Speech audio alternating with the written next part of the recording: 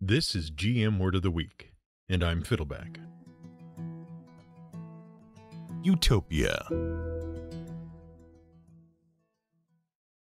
As we find ourselves standing on the cusp of the holiday season and with the looming end of the old and beginning of the new that is the new year, we have to confess something. We here at the Word of the Week are tired. As we scramble to finish projects and get ahead of our work so we can justify running off for two weeks for Christmas vacation with our families, which we know will be filled with a flurry of activity and not at all relaxing, we find ourselves wishing we could simply disappear to some calm, quiet place where all of our needs are taken care of, where we don't have to work or worry, where stress is a thing of the past, where things are just perfect. We long for utopia. Now, if you're a fan of fantasy or science fiction, you'll probably be immediately familiar with a particular brand of science fiction known as dystopian fiction, and doubtless we don't have to explain the link between utopia and dystopia. A utopia is a fictional nation, state, or community that offers basically a perfect life to its citizens. Everyone's needs are met, there is no conflict, and none of the perceived evils of society and humanity are tolerated nor do they even exist. A dystopia is the fictional counterpart to a utopia. Dystopias are awful fictional places where the people are miserable and oppressed and suffer every problem imaginable. If you watch movies or TV shows or Netflix original series, you might be tempted to think that dystopian fiction is enjoying some kind of sudden surge, perhaps in the last decade. And that would be fair enough. After all, 10 years ago, author Suzanne Collins published the first in a trilogy of teen dystopia novels, The Hunger Games. Four years later, the book was a highly successful motion picture, and in the same year as the film's release in 2012, The Hunger Games books had broken the Amazon sales records held previously by the Harry Potter series. And the film series went on to make almost $3 billion on a combined budget of under half a billion dollars. The Hunger Games tells the story of a teenage girl named Katniss Everdeen, who, to protect her sister, takes her place in a televised teenage battle royale. See, at some point in the unspecified future, a post apocalyptic North America ends up resource starved and under the control of a totalitarian regime. In a classic bread and circuses maneuver, the wealthy and decadent aristocracy keeps the oppressed masses placated by forcing teenagers to participate in a televised battle royale. It's like Fortnite, but with innocent people's children. And with ghost dogs and robot wasps instead of that storm thing. We should note that the term bread and circuses, which refers to the practice of keeping an oppressed populace docile with entertainment and food stuff, is highly appropriate here, even though we know our more devoted Hunger Games fans are going to point out that technically the people are starving and the entertainment is meant to distract from the lack of bread. But first, the winners earn bread. Second, the term bread and circuses refers less to the specific method and more to the general idea of placation and distraction to keep people from rising up against the government. The phrase comes from a series of poems penned by the Roman poet Juvenal in 100 CE. In the tenth of his series of satires, that was the title of his poems, the Satires, Juvenal criticized the Roman government for wasting money on costly gladiatorial games and free grain initiatives to buy the support of Roman citizens who had no real representation in their supposed republic. Okay, that really isn't the Hunger Games. It's actually closer to The Running Man, a 1982 novel by Stephen King that was adapted into a major motion picture in 1987 starring Arnold Schwarzenegger. In that completely different story, the wealthy and decadent corporate elite distracts the citizens of a post apocalyptic and resource starved United States with a series of brutal televised blood sports. In the book, the main character, Ben Richards, ends up volunteering to participate in a battle royale type event to protect his daughter and provide for his family. So it's completely different. And speaking of battle royale, there was the 1999 Japanese novel by Koushun Takami, which was turned into a motion picture in 2000. That one was called Battle Royale, in it, a totalitarian government forces a bunch of teenagers, blah, blah, blah, blah, blah, blah, blood sport, bread circuses. You get the picture. Anyway, after the Hunger Games became a big thing, there was a spate of other teenagers overthrowing totalitarian regimes and terrible dystopian futures. There was that Maze Runner kid, for example, and many, many more. And there have also been some recent dystopias that didn't involve children and blood sports. For example, the recent Netflix series The Handmaid's Tale tells the story of an oppressive future North America, specifically New England, in which women are the oppressed property of a brutal totalitarian patriarchy established by a fundamentally religious terrorist group. Based on the success of these sorts of stories, you'd be forgiven for thinking that the dystopian fiction thing is going through a sort of renaissance or surge or something. You might also be of the misconception that dystopias are all about political satire to counterbalance the idea of a philosophical utopia. Well, guess what? Dystopian fiction is older than you might think. And while it did appear as a way of shining a light on the worst evils of society and amplifying them to serve as a sort of cautionary tale, it turns out that that was precisely what fictional utopias did too. The word utopia was invented as a snarky pun. And what is generally regarded as the first fictional utopia was actually a decadent and aristocratic nightmare that eventually suffered an apocalypse. Dystopian fiction isn't new, and the basic ideas of dystopian fiction just tend to keep cropping up in fiction itself. The Hunger Games was preceded by Battle Royale, which was preceded by The Running Man. Heck, The Handmaid's Tale isn't even recent. It's based on a book that was written in 1985. And of course, there were literary greats writing about dystopia long before Atwood and King were born. The history of dystopian fiction includes such great works as George Orwell's 1984 and Aldous Huxley's Brave New World. And we could go on discussing the plots of those various books and how they reflected the various fears and social evils of their respective days. But what's more interesting is the word origin of the word dystopia. The word dystopia first appears in print in 1952, and the idea behind the word was simple. It was meant to connote the opposite of utopia. Where a utopia is the best of all possible places, a dystopia is the worst of all possible places. In fact, dystopia comes from the Greek prefix dys, meaning bad or wrong or abnormal, and topos, meaning place. The word means bad place, pure and simple. Oh, wait, did we say the word first appeared in print in 1952? It turns out that scholars recently discovered that's not quite right. First of all, there was this speech given by philosopher John Stuart Mill in 1868 to the British House of Commons. But even earlier, there was apparently this book of essays and poems called Utopia, or Apollo's Golden Days, in 1747.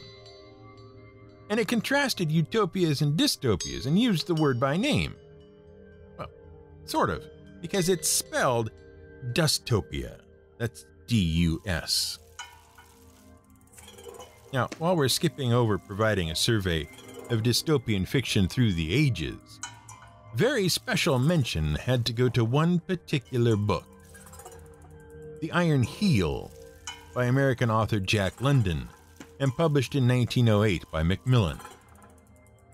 The reason it deserves such special mention is because it is generally recognized as the first example of dystopian speculative fiction. The Iron Heel is an anti capitalist tale of wealthy American businessmen who gain control of the free market and use it to secure their power and form a repressive government.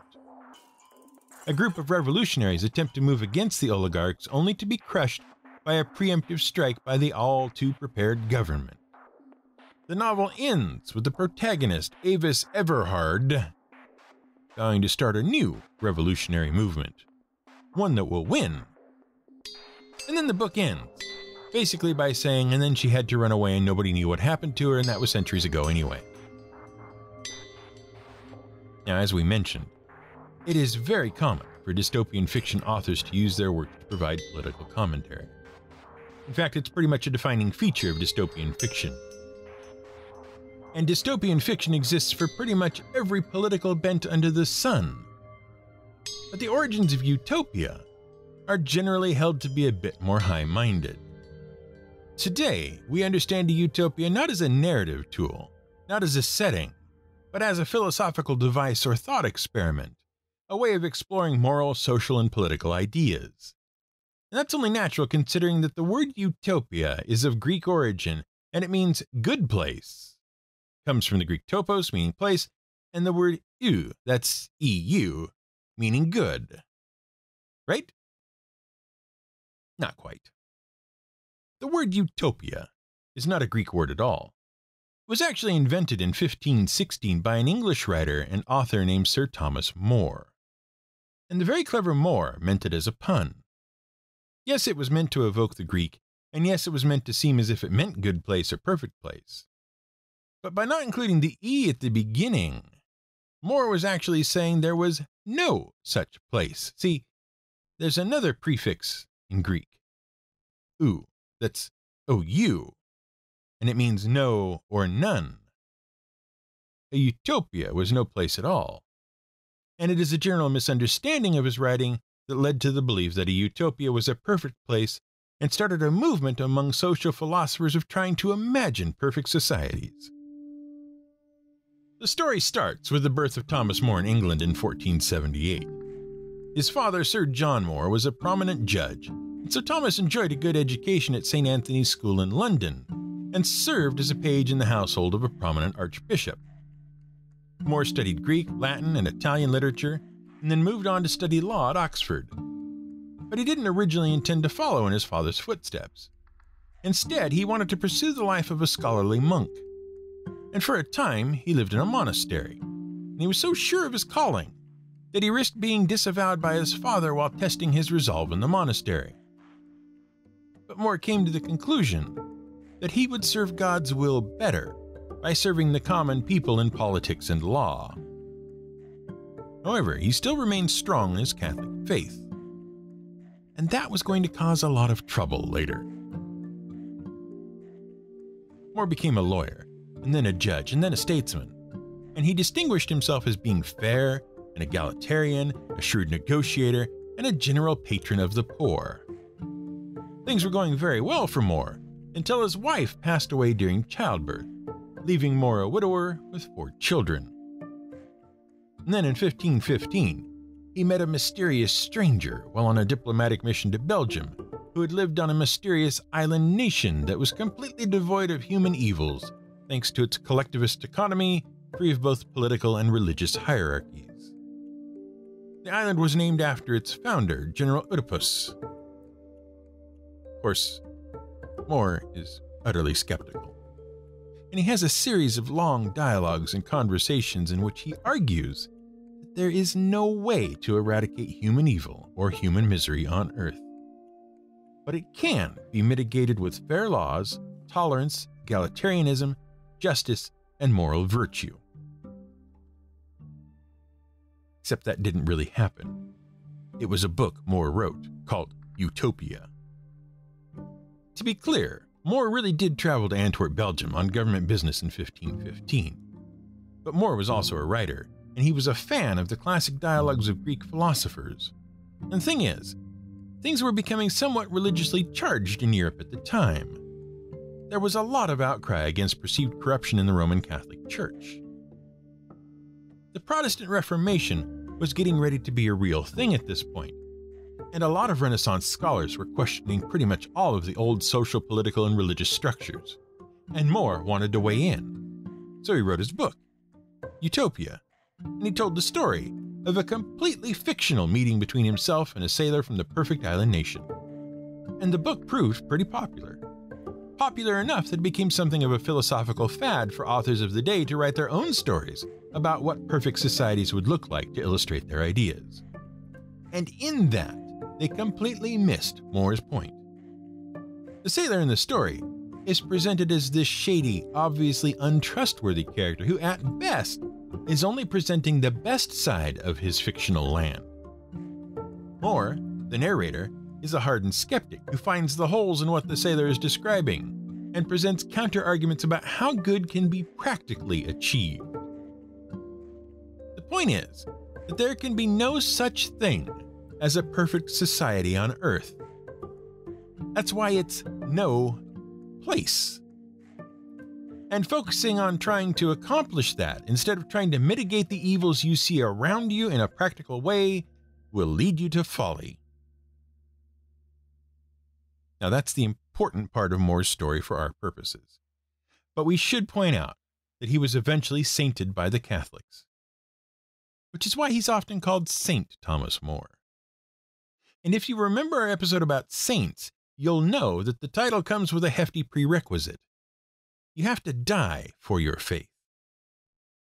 And More did. Eventually, Martin Luther started that whole Protestant Reformation thing, and there was a lot of ugliness between Catholics and Protestants. More himself wrote several responses to the Protestant movement and became an outspoken supporter of Henry VIII and Catholicism in England. More tried to walk a fine line between his own fair and egalitarian viewpoints and the hardline anti Protestant position the Crown was taking. He even tried to get free speech legislation through Parliament in 1523. And then, Henry VIII wanted a divorce.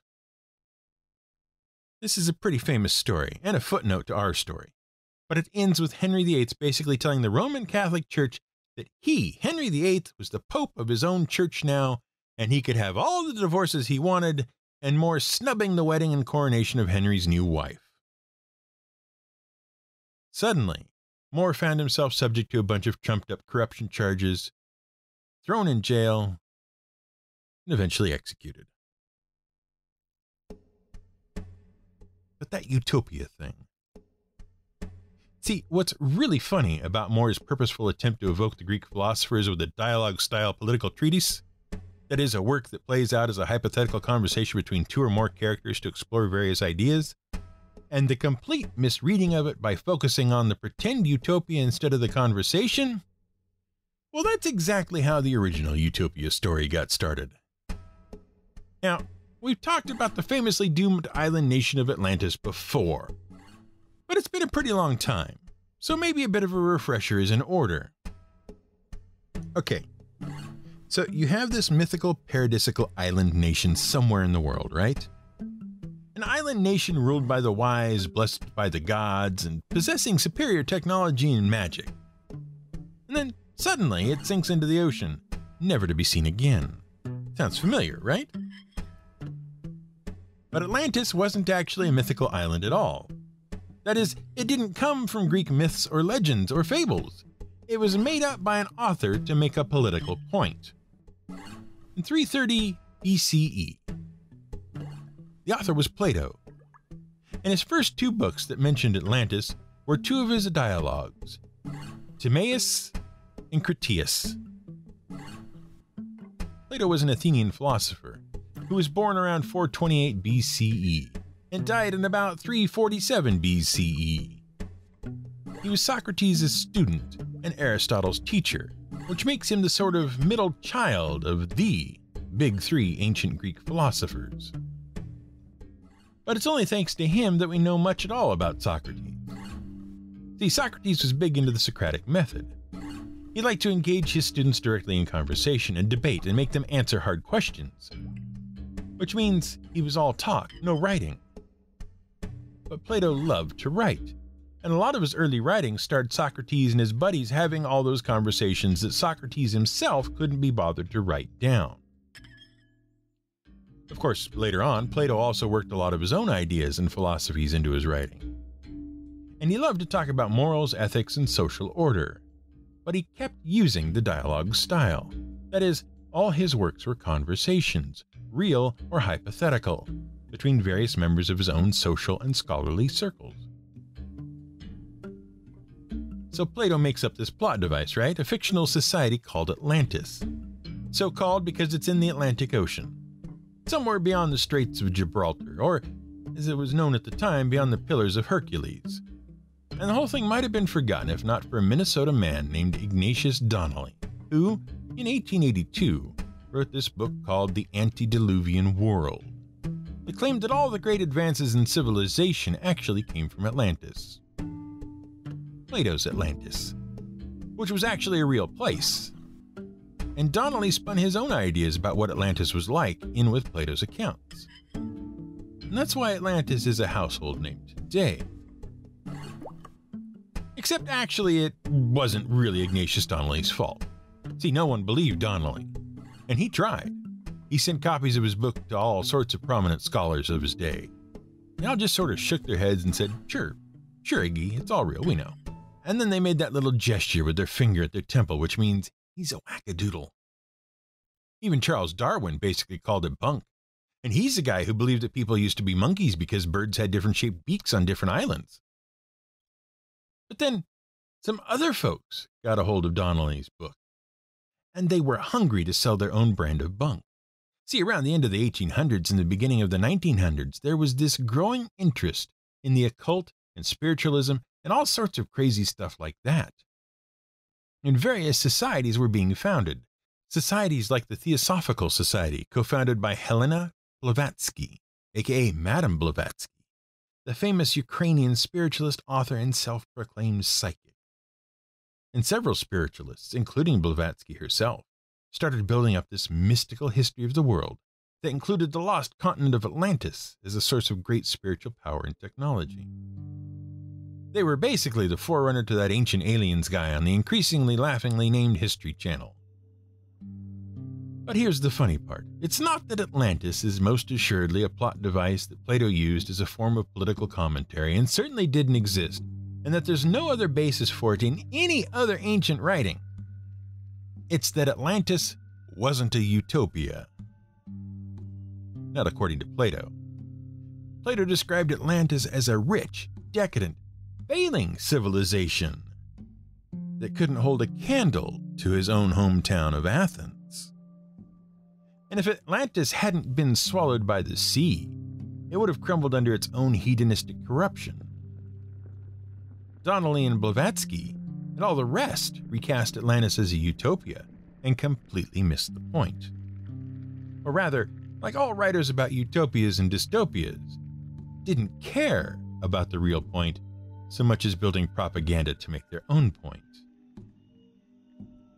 Because the real point is there is no perfect place to escape to. The perfect place, utopia with an E, is no place, utopia with an O.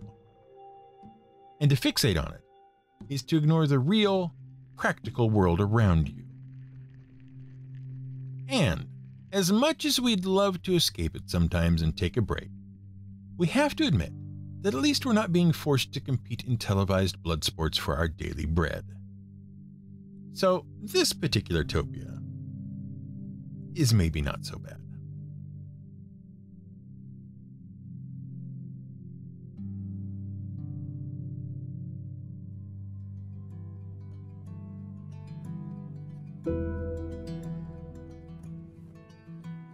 This has been GM Word of the Week. It's written and researched by the Angry GM and produced by me, Fiddleback.